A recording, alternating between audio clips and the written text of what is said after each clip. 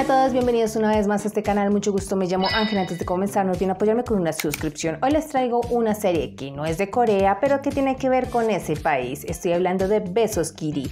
Esta serie la pueden encontrar en la plataforma de Netflix con doblaje de audio.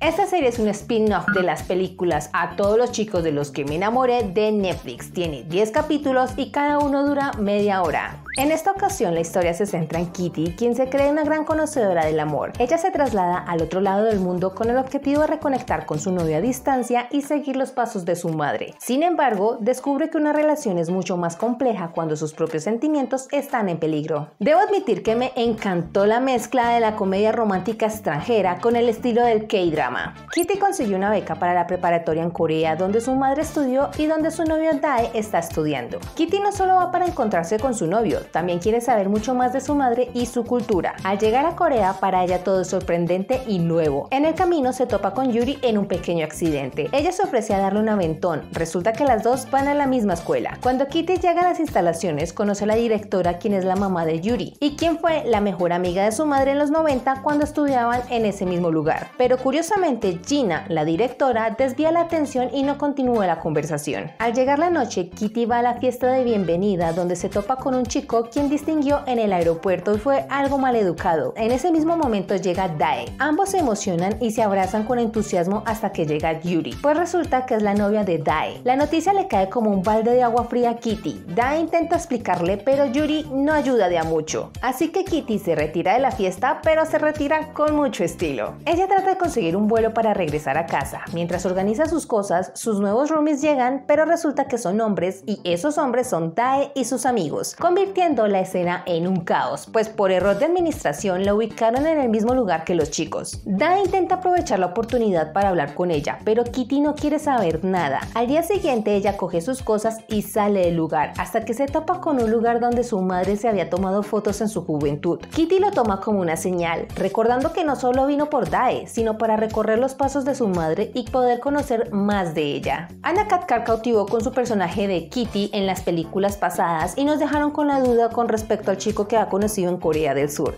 Así que Netflix aprovechó esa duda que nos dejó más el, gran, interés que hay sobre Corea del Sur y la ola Hallyu y nos regaló esta entretenida e interesante historia independiente de las películas que están basadas en un libro. Vamos a hablar de los personajes, así que tenga cuidado que les voy a soltar unos spoilers. Anna Katkar interpreta a Kitty, quien se hace llamar a sí misma Cupido. Además de ver cómo viaja a Corea para conocer la historia de su madre y poder con su novio, podemos ver las dificultades que tiene en la escuela, pues se ganó el apodo de acosadora. Su novio le mintió y está saliendo con otra. Le va mal en las clases. Tiene un profesor en específico que la tiene en la mira. Se topa con un gran secreto que se guardaba su madre y sobre todo descubre que no solo le gustan los hombres, está en una encrucijada con respecto a sus sentimientos. Choi Millon lo hemos visto en el popular drama 2521 como el hermano menor de Park Ji-jin. También lo hemos visto haciendo de Choi Jun-min y de Ian Chase en la serie de Eres mi primavera también disponible en Netflix. En esta serie de besos Kitty, Choi Mi-young interpreta a Dae. Es hijo del chofer de la familia y la directora de la escuela y tiene una hermana menor. Tiene problemas económicos y procura ser el primero de la escuela para ganar la beca. Como necesita recursos, Yuri lo contrata, por decirlo así, para hacerse pasar como su novio, lo que le trae problemas con Kitty. La principal encrucijada con él es que aunque quiere darse una oportunidad con Kitty, siente que los dos han cambiado, pues en cuatro años han madurado en cierto aspecto. Claro está que él no deja de amarla. Jian Kim interpreta a Yuri. Es hija de un gran hotelero e hija de la directora de la escuela. Es bastante popular. Se podría decir que es la Paris Hilton de Corea. Ella tiene muchos conflictos con sus padres especialmente porque niegan y no soportan la idea de que ella sea lesbiana. Como sus padres tienen contactos, lograron separarla de Julia, su gran amor. Para tratar de calmar las cosas y poder estar con ella escondidas, planea hacer pública una relación con Dae. Ella entiende el amor que él tiene por Kitty, pero para asegurarse de su plan se convierte la villana de este drama.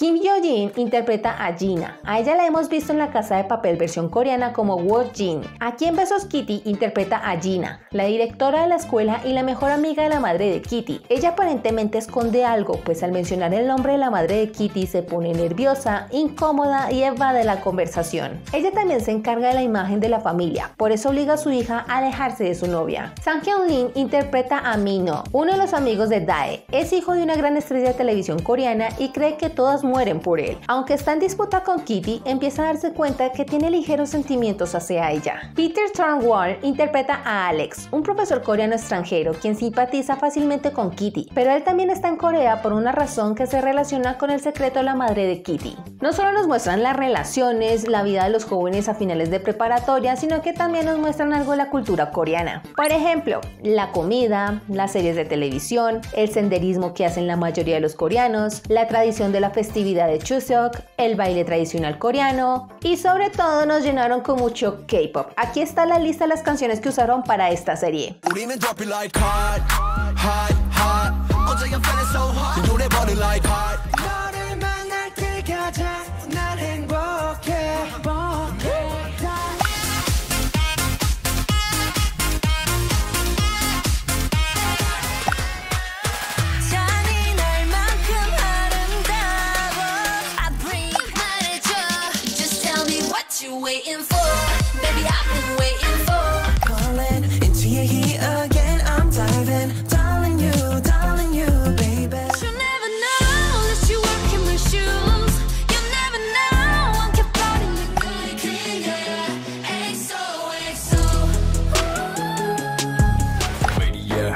나서 빠진 것처럼 미쳐 매니악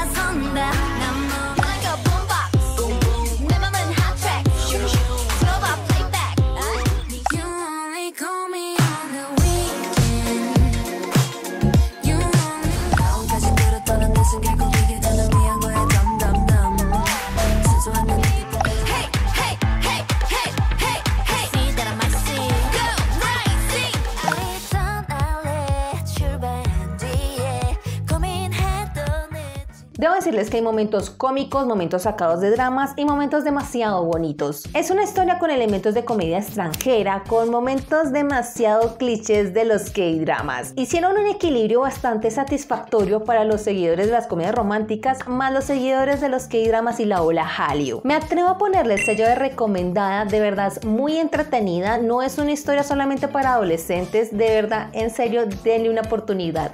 Son momentos muy equilibrados y que los va a hacer reír bastante.